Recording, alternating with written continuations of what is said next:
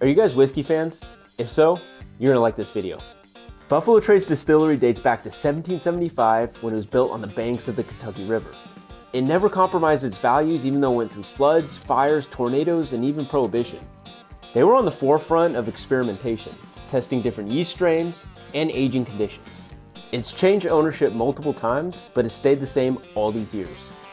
They survived prohibition by producing medical whiskey, so if you find yourself in the area, they offer tastings and tours, go visit.